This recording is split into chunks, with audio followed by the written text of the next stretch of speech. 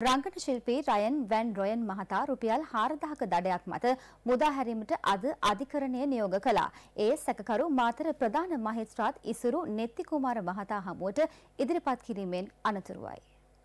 මකදුරේ මදෝෂ් සමග ඩුබාහිදී අත්අඩංගුවට පත් වූ රංගන ශිල්පී රයන් වැන් රොයන් මහතා පසුගේදා මෙරට පිටුවහල් කෙරුණා.